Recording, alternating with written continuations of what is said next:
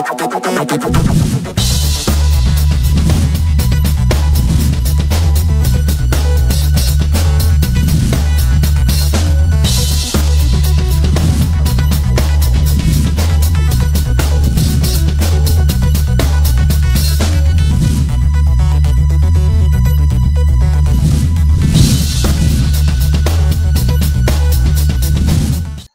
Buenos días para todos los cibernautas que se encuentran conectados en estos momentos a través de todas las plataformas digitales. Recordarle igualmente que le pueden dar me gusta a nuestra página Importante TV Digital. Ahí ustedes pueden enviar sus preguntas e interactuar con nuestro invitado especial en el día de hoy. Pero primero déjenme, permítame agradecerle a Fabián Lalinde y su equipo de trabajo en la parabólica de Para Colombia en la Comuna 1, que también eh, nos están viendo y eh, hace su repetición de este importante programa a las 4 de la tarde. Así que un saludo especial para todos los habitantes de la Comuna 1 y para todos los que nos están viendo en estos momentos a través de Facebook Live, la página de Importante TV Digital. Bien, hoy eh, continuamos con una serie de entrevistas con algunos líderes sociales, líderes ambientales, eh, que han estado eh, vigilantes, pendientes de toda esta situación del agua en Barranca Bermeja, de los espejos de agua, de las ciénegas, de los humedales y protegiendo la fauna y la flora de, este importante, de esta importante región del Magdalena. Hoy nos acompaña Oscar Zampayo, él es politólogo con una maestría en Derechos Humanos. Oscar, bienvenido. Muy buenos días, eh, José Luis, muy buenas a la audiencia que nos ve a esta hora y que en un futuro eh, sintonizará y se informará eh, en, este, en esta charla, en este diálogo que vamos a tener hoy. Muy bien, Oscar, muchas gracias. Bueno, eh, empezamos eh, con esta intervención que usted tuvo en la sesión de la Asamblea eh, Departamental, donde hablaron los temas del agua de Barranca Bermeja, las áreas protegidas, los rellenos sanitarios, y puntualmente cuéntele a los barranqueños y a todos los que nos están viendo en estos momentos, cuáles fueron esas denuncias. Eh, José Luis y eh, audiencia de Barranca Bermeja y del Magdalena Medio, en esa sesión que se, que se generó eh, tanto en la Asamblea Departamental como en el Consejo Distrital de Barranca Bermeja, la Asamblea Departamental de Santander, se dialogó sobre la realidad que tiene la Ciénega San Silvestre en cuanto a la contaminación de su agua cruda eh, de los diferentes, eh, o por lo menos los últimos tres estudios de calidad de agua que se han realizado sobre esta ciénega por parte de la consultora o de las consultoras eh, calidad hídrica el año 2019 y este el que está realizando la consultora Consorcio Humedales San Silvestre con un contrato que tiene también con la Corporación Autónoma Regional de Santander. Eh, en esos estudios de calidad del agua, José Luis, se han evidenciado eh, la presencia o las trazas de compuestos como el selenio, como el hierro, como el cadmio, eh, en los sedimentos compuestos como el vanadio, como el plomo, y son estudios que nos entregan o la Secretaría de Medio Ambiente o la Corporación Autónoma Regional de Santander ante esa evidencia o ante esa magnitud de los hechos eh, y que demuestra, por ejemplo, José Luis, que en alrededor de 13 puntos donde se hicieron estas muestras, no, no sirve el, la ciénega San Silvestre ni para uso recreativo.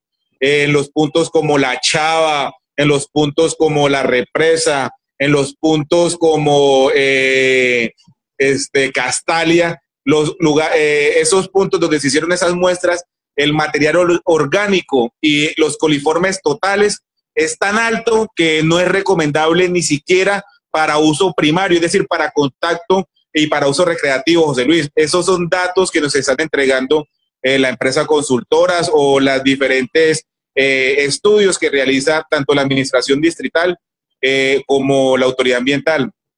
Pero lo que más nos llama la atención, José Luis, es esta multa que le habían instaurado a la empresa Aguas de Barranca Bermeja por algo más de 550 millones de pesos por tres cargos que se evidenciaron. Uno, eh, que los parámetros establecidos dentro del índice de riesgo de calidad del aire fueron superados eh, tanto en turbiedad como en olor, como en coliformes, en fin. Y segundo, que no hay una real dimensión de cuánto es el agua que se está facturando a los barranqueños. Y la autoridad, la superintendencia en este caso, eh, que regula este tipo de actividades a la empresa Aguas de Barranca Bermeja establece que prácticamente no hay una certeza de cuánto es que se le cobra al usuario. Y por último, que lastimosamente eh, eh, se han pasado por alto unos análisis al agua de estos índices de riesgo de calidad del agua. Esos 500 millones de pesos o 550 y algo, 580 y algo, eh, José Luis, ahí me dispensará, pero es la cifra de más de 500 millones de pesos por no tener la precisión del dato. ¿De dónde van a salir, José Luis? Recursos de los barranqueños, plata de los barranqueños. ¿Por qué no se asume y no se arregla y no se presupuesta este tipo de acciones para que se dé un mejor servicio de agua a los barranqueños. Entonces allí, eh, José Luis, en torno a la ciénega y a la calidad del agua, pero también tocamos el tema del Distrito Regional de Manejo Integrado, que Raúl bien tocó ayer. Eh, lo que expuso Raúl de una forma somera, también se expuso el tema de, los, de los intereses o de las presiones que tiene el Distrito Regional de Manejo Integrado, José Luis y audiencia, es una situación enorme. Eh, ahí la consultora también entregó unos datos, José Luis, que nos dejan alarmado. Eh, más de 120 mil cabezas de ganado se encuentran en, el Distrito Regional de Manejo Integrado. Eh, más de 13 mil, 12 mil 500 cabezas de búfalo, 1.900 hectáreas de palma. hay tres bloques adyacentes más el bloque Marteja que se superponen casi un 50 y pégale por ciento, 52, 53 por ciento al Distrito Regional de Manejo Integral. Entonces, por donde lo queramos ver, José Luis, eh, el, el, caos o, o, el, la situación, las presiones que tiene tanto la Ciénega como esa área protegida son muy, muy enormes, son muy altas y eso se evidenció ante eh, la Asamblea Departamental y ante el Consejo Distrital de Barranca Bermeja. Bien, eh, Oscar, hablemos puntualmente de esta sanción que le impone eh, la Superintendencia de Servicios Públicos a la empresa Aguas de Barranca Bermeja, en el cual usted estaba hablando, por el incumplimiento en los valores, ojo, incumplimiento en los valores aceptables de los parámetros de turbiedad y color, eh, con los cuales debe contar el agua para el consumo humano. O sea que en, en ese sentido, ustedes eh, tenían la razón en esta demanda, ¿no? Eh, indudablemente, eh, José Luis, ahí vemos el, radicado que le contestan a, un compañero también ambientalista, al compañero Francisco Silva, que ha estado ahí presente y, atento a este, a este, a este documento y vemos una situación bien lamentable. Aparece la resolución 2020 44 000 22685 del 25 de junio del 2020 eh, del expediente que se había no Oscar es que no te estamos viendo en pantalla no te estamos viendo en pantalla. Ahora sí estoy viendo es que estoy José Luis es que estoy leyendo el documento es que para para no confundirme tengo el documento en la pantalla para no caer en imprecisiones y después eh, usted sabe pues a, a qué atenernos. Entonces eh, para, para, no equivocarme en nada Estoy hablando textualmente del documento a la mano, entonces por eso lo estaba aquí proyectando, pero lo voy a proyectar en otro lugar para no equivocarme y de pronto dar una cifra eh, o un dato incorrecto y eh, pues después vienen ahí sí los allá y entonces eso es lo que no quiero. Exactamente, lo puedes leer ahí para que te puedas ver en la pantalla, por favor. Bueno, listo, entonces lo que, lo que evidencian, eh, José Luis, es que lo que nosotros hemos denunciado en los últimos tres años, en la cual hay una pues una, una fuerte y una seria eh, situación en cuanto a la calidad del agua. Y lo que nosotros hemos evidenciado que el agua de Barranca Bermeja no es potable, queda ratificado con esta sanción que entrega la Superintendencia de Servicios Públicos porque evidenció eh, ahí en el primer cargo que unos, unas muestras que Aguas de Barranca Bermeja había eh, suministrado al, a la autoridad pasaban y superaban los índices eh, en cuanto a turbiedad, coliformes, y eso es gravísimo, este, José Luis. Ahí la superintendencia lo manifiesta. Aquí se está colocando en riesgo a la población de Barranca Bermeja por entregar esa agua o por suministrar esa agua a los habitantes del puerto de Barranca Bermeja. Y aquí necesitamos son respuestas por parte de la autoridad, José Luis, y por parte de la alcaldía. ¿Qué se va a hacer para solucionar esta situación que se está evidenciando? Y ya no es eh, la, denuncia de tres, cuatro ambientalistas o el, o el loco que querían mencionar. Es una resolución, es una sanción, es una multa millonaria de más de 500 millones de pesos que ratifica las situaciones que nosotros hemos venido denunciando de por lo menos el 2015. Pero antes, eh, José Luis, habían otras personas que denunciaban que también estaban preocupadas por el tema del agua, eh, pero bueno, eh, no se había logrado como dimensionar o magnificar la situación que se vive hoy. Entonces, esa preocupación, José Luis, y la Superintendencia de Servicios Públicos eh, ratifica esta, esta realidad. Este proceso se encuentra en etapa de, de recurso de reposición por parte de, la autoridad, un recurso que tiene derecho la, empresa, pero como nos manifestó en la anterior respuesta del derecho de petición, eso no interesa, este, eh, José Luis. La sanción está establecida y el recurso de reposición va a establecer si se, si se eh, modifica en cuanto a la, a, la, a la cuantía o no, o se ratifica, pero la sanción es un hecho y evidencia lo pésimo y lo grave que está la calidad del agua eh, que se suministra a los hogares de los eh, Barranca Bermeja del distrito de Barranca, José Luis. Bueno, algunos manifiestan que esto sucedió en la gerencia del señor Sergio Marís, eh, ¿qué ha cambiado desde esa gerencia a, la actual? O sea, ¿qué se ha modificado, qué ha cambiado lo que tiene que ver con eh, la calidad del agua en Barranca Bermeja? Eh, Oscar. Bueno, pues nosotros reconocemos y valoramos los esfuerzos que hacen los obreros, los trabajadores, los operarios que trabajan en aguas de Barranca Bermeja. Pero pues los hechos y el derecho también lo, lo, ratifica, que lamentablemente el agua que eh, se está suministrando, o bueno, que se suministraba eh, sobre el 2017, era de una situación preocupante. Lo que vemos, José Luis, es que el agua de Barranca Bermeja, el agua cruda de la Ciénega, está en peores condiciones que hace tres años. Lo ratifican los diferentes estudios de calidad del agua.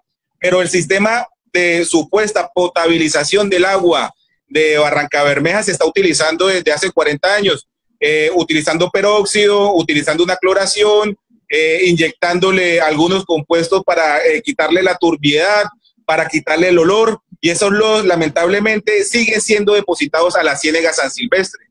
Mm, ¿Qué ha cambiado? Nada. Entonces, nosotros creemos que si las muestras de calidad del agua se siguen tomando, las evidencias van a ser igual o hasta peor. Eh, la administración, lamentablemente, oídos sordos a esta situación. Eh, el doctor Carlos Arturo, pues como que no quiere escuchar y no quiere atender. Esto era un documento que estaba desde junio allí, eh, José Luis. Un tiempo lo hablamos y cómo hacíamos para sacar ese documento. Y cinco meses después fue que lo logramos obtener, cuatro meses después, perdón. Entonces, eh, necesitamos también que de la Administración de Aguas de Barranca Bermeja hablen con sinceridad a los barranqueños, que entreguen una información oportuna y que no nos toque a nosotros los ciudadanos estar sacando eh, de la administración o de, las instituciones esos documentos que son de eh, importancia o de interés público para los barranqueños.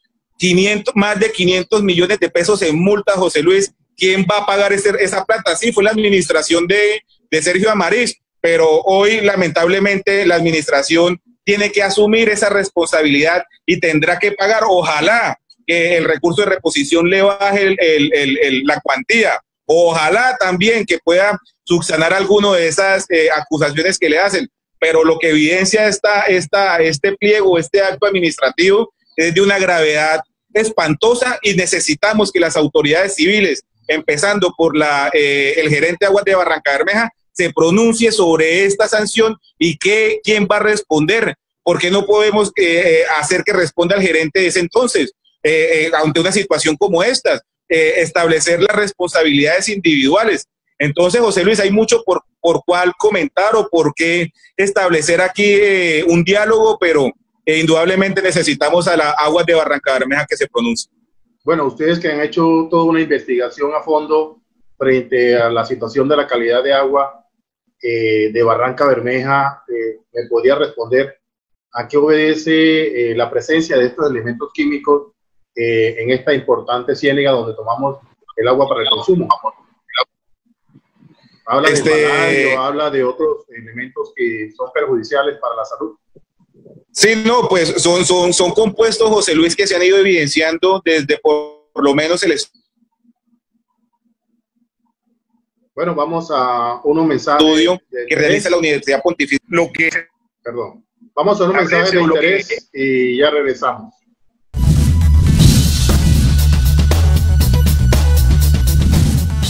La imitación es el primer modelo de aprendizaje para todas las especies. Animales y humanos aprenden los aspectos más básicos de este modo. Cuando los pequeños ven a sus padres, profesores y adultos usar tapabocas, ellos lo usarán. Si los ven lavándose las manos y manteniendo el distanciamiento, naturalmente lo repetirán. Los niños retoman su rutina y necesitan saber cómo comportarse para mantenerse a salvo. Es tu responsabilidad. El virus no se ha ido. Gobierno de Colombia. ¿Sabes que el Instituto Pablo Neruda te ayuda de manera lúdica y creativa a ser bachiller en poco tiempo? Sí, con nuestro profesionalismo, calidad humana y cómodas instalaciones, formamos seres integrales con principios éticos, valores y habilidades sociales y emocionales. Ven y matricúlate ya. Cali 51, número 2048, Barrio Colombia. Escuela Santa Cecilia. Teléfonos 301-291-1662, 622-2598.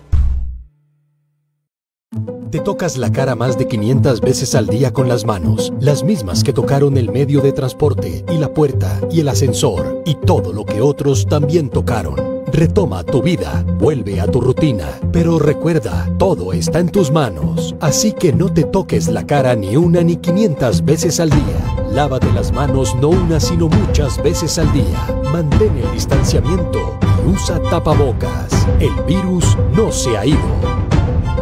Gobierno de Colombia.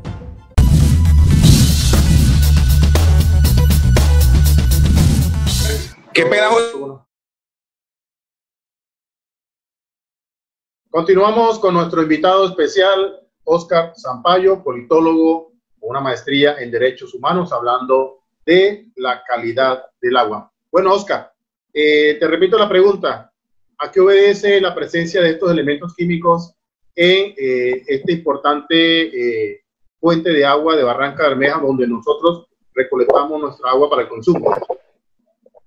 Bueno, este, José Luis, nosotros tenemos dos hipótesis o podemos manifestar hasta tres hipótesis. Una, eh, indudablemente las contingencias que se generan en los campos Las Infantas, Lizama, que son la cuenca media e intermedia de la Ciénega San Silvestre, Allí se encuentran el caño La Vizcaína, caño Peroles, caño Marrano, caño 40, eh, este, la Vizcaínita, eh, la quebrada Las Lajas, todos este tipo de, todos estos cuerpos de agua lamentablemente eh, han sido impactados por la actividad de extracción de hidrocarburos.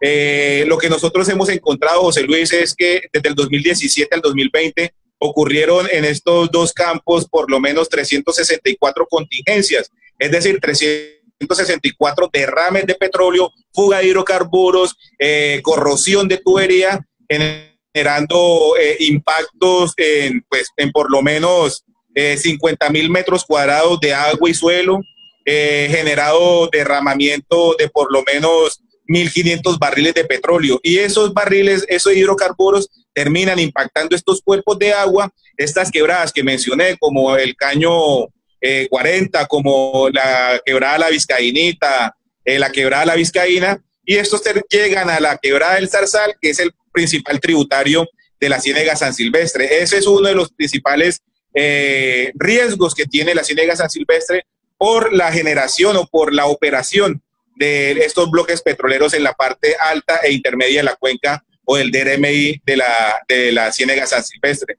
El otro, indudablemente, este, José Luis, son los basureros, no solamente el de Rediva, no solamente el de, el de Veolia, que opera allí el, el basurero eh, de, que antes era de Rediva, hoy es de Veolia, allí en Yerbabuena, sino también la Esmeralda, eh, la, la mala posclausura y este impacto que se está generando en la parte final de la cuenca de la Ciénega San Silvestre o el DRMI eh, de la Ciénega San Silvestre indudablemente está generando esos impactos.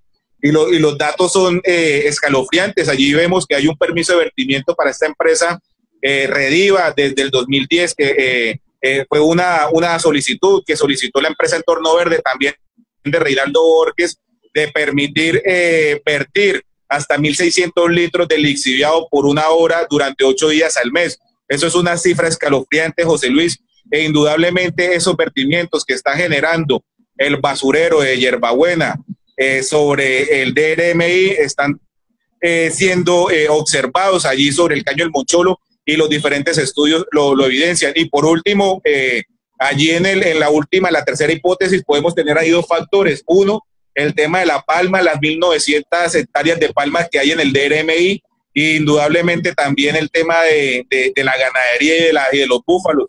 Eh, todo ese tipo de compuestos y elementos que se utilizan para pues, eh, mantener el, eh, en pie la ganadería puede estar impactando las fuentes hídricas. Entonces no nos aseveramos a dar una, un solo causante, una sola, pues una sola actividad la que genera esta contaminación, sino es obviamente una, una suma de factores como la ganadería, los búfalos, la palma, la extracción de hidrocarburos, el relleno sanitario y otros proyectos que se ejecutan en el DRMI y que terminan eh, tributando sobre la quebrada del Zarzal, que termina eh, este, tributando a la Ciénega San Silvestre, José Luis.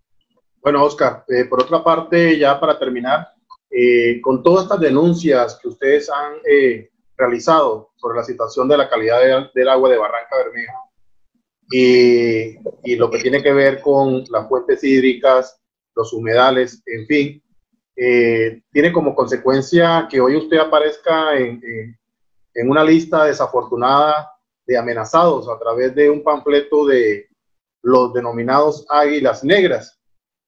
Frente a esa situación, eh, ¿qué han podido avanzar eh, las autoridades? Cuéntanos un poco qué les han dicho sobre esta situación que hoy ustedes los encuentran en, en, esta lista, en este panfleto y lógicamente eh, pues amenazados y mirando a ver cómo hacen para eh, tener eh, su seguridad y, bueno, caminar libremente por el puerto petrolero y por las diferentes regiones sin que les suceda absolutamente nada. Pues José Luis, la, es una situación lamentable que en un país como Colombia, pues bueno, eso siempre ha pasado, no es algo nuevo, pero que por defender la naturaleza, que por defender una, un río, una quebrada o evitar que los impactos ambientales de la extracción de hidrocarburos eh, se tenga uno que desplazar o tenga que aparecer en ese tipo de, de comunicados, de ese tipo de, pasquines, pues, de una forma tan, tan alarmante y tan, tan, tan, pues, tan, tan peligrosa en la cual uno es señalado allí, eh, pues, eso evidencia que eh, la, los temas políticos ah, o bueno, la situación de violencia, de guerra que vive Colombia todavía no ha finalizado y las autoridades tienen que responsabilizarse de, esta situación.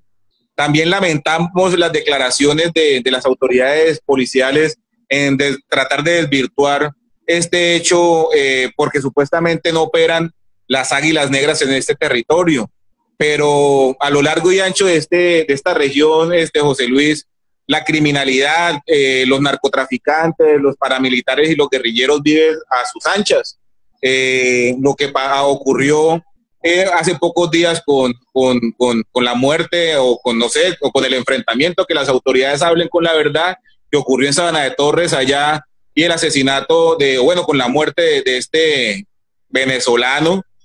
Pero eso es otro, otra serie de hechos que ocurren acá, los secuestros, las masacres, toda esa ola de violencia, todo ese nuevo capítulo eh, de guerra que se está viviendo en el Magdalena Medio son, son, son reales, son, son hechos que eh, evidencian eh, la prensa, el tiempo, vanguardia, la W, Entonces, eh, si no operan aquí las águilas negras en el Magdalena Medio, ¿quiénes son todo ese poco de criminales y, delincuentes que están eh, generando zozobra a lo largo y ancho del territorio? lo mismo también reporta Ecopetrol, quiénes son los que están robando el hidrocarburo o, hacen las pegas ilícitas en los oleoductos y en los polioductos a lo largo y ancho del Magdalena Medio y son informaciones que están y salen de ellos mismos, de la propia autoridad o de la prensa, eh, y que reporta Copetrol y que reporta las empresas y que los secuestrados son los que aparecen y, las víctimas están allí, José Luis. Entonces, eh, nosotros sí necesitamos claridad quiénes son todos esos actores armados que volvieron al territorio y están generando toda esta ola de violencia y que ojalá eh, nosotros y estas personas que aparecen en ese comunicado, en ese documento, no, no, no, sean, no seamos unas víctimas más. Entonces, eh, vemos con preocupación eso, vemos un poco, un poco y un pobre actuar por parte de todas esas autoridades, eh, llámese policía, ejército, eh, fiscalía. Hay apurado, hay un intendente y un patrullero que nos brinda algo de, información, que está un poco preocupado, pero de eso de allí no pasa, José Luis. Entonces, el autocuidado, eh, la precaución que tenemos que tener eh, nosotros y lastimosamente ahí eh, observamos que hay unos compañeros que ya abandonaron Barranca Bermeja. Nosotros, por el contrario, vamos a permanecer en el territorio, vamos a continuar haciendo las denuncias, ahora con mucho más ahínco a presentar con un material o un acervo probatorio estas denuncias para que sean más contundentes, pero no, indudablemente llamamos también a la solidaridad de todos que ven este programa eh, en arroparnos, en acompañarnos y pues que esto no es lógico, José Luis, no, no, no, yo no, yo no entiendo que por qué se tiene que generar este tipo de señalamientos, de estigmatizaciones por la defensa de la vida, por la defensa del agua. Entonces, eh, no, eh, continuaremos acá, José Luis, defendiendo la vida y responsabilizamos a las autoridades, desde el fiscal, el doctor Rojas, llámese por, el coronel Martínez, por el alcalde El Hash, por el gobernador Aguilar, se tiene que responsabilizar de nosotros. No, no estamos en los tiempos de estar desplazándonos por nuestros pensamientos políticos. Eso es del pasado y nos tienen que garantizar y brindar las medidas de seguridad e integridad para nosotros ejercer nuestra labor como ciudadanos. Bueno, igualmente, una pregunta que le hice ayer a Raúl. Eh, ¿Cómo se han sentido ustedes? ¿Cuentan con el respaldo de algunas ONGs nacionales, de la parte ambiental, algunas organizaciones ambientales a nivel internacional. ¿Qué le han manifestado eh, estas corporaciones frente a esta situación? ¿Y cuál ha sido el respaldo? No, eh, hay un acompañamiento, eh, José Luis, de el movimiento social, la, la, las organizaciones sociales, el movimiento social de Barranca Bermeja nos ha, respaldado desde Credos, el sindicato Sinaltrainal, este, desde otras plataformas como la CUP Santander, eh, el Magisterio eh, de Santander, del Magdalena Medio, han estado allí atentos. Eh, desde lo nacional, la Alianza Colombia Libre de Fracking, plataforma a la cual integramos no solamente Oscar Zampayo, sino el doctor Jesse, también Raúl, han generado comunicados de respaldo. Está también la Red Nacional de Democracia y Paz, que generó un, documento de respaldo. Y las ONGs internacionales igualmente tenemos el apoyo de ellos. Entonces, eh, la preocupación que radica en ellos, este, José Luis, porque Colombia, según el informe de Global Witness, eh, es el segundo país más peligroso para ejercer o, o para manifestar o, establecer la exigibilidad en cuanto a derechos ambientales.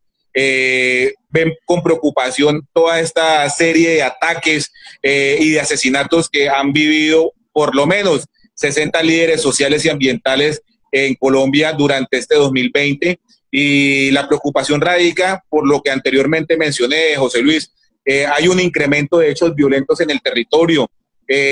la, la, criminalidad, el, para, el narcoparamilitarismo eh, resurge nuevamente en el Magdalena Medio y las autoridades civiles y militares eh, parece que no prestaran atención o, bueno, no sé qué es lo que están observando, pero allí los hechos violentos que resurgen en el territorio eh, generan una zozobra. Entonces, esa preocupación está, la conocen las ONGs, la conoce eh, la comunidad internacional, eh, la conocen algunos integrantes o algunas eh, plataformas de derechos humanos, tanto ambientales como de derechos humanos en Colombia, y ven con preocupación todo este nuevo accionar y hechos violentos que se están generando en el Magdalena Medio. Entonces, agradecemos al movimiento social, tanto local como regional y nacional, por este acompañamiento, pero hay que visibilizar y hay que arropar a, estos, a estas personas que aparecen en ese comunicado, Muy bien, Oscar Zampayo, muchas gracias por participar en el programa. Aquí están las puertas abiertas para que ustedes en cualquier momento puedan eh, denunciar eh, situaciones que se presentan en lo que tiene que ver con la, el medio ambiente, el agua, la calidad del agua de nuestra querida ciudad y todo lo que afecta este importante ecosistema del Magdalena Medio. Oscar, nuevamente mil y mil gracias. Bueno, José Luis, ya para despedirme, eh, como señalar y, e informar a la, audiencia que ve el programa que los proyectos pilotos de investigación eh, integral de fracking van a ser una realidad. Eh, muy posiblemente dos de esos proyectos se lleven en Puerto Wilches, allí en el vecino corregimiento del Pedral, de la Lucha, muy cerca al corregimiento del Llanito.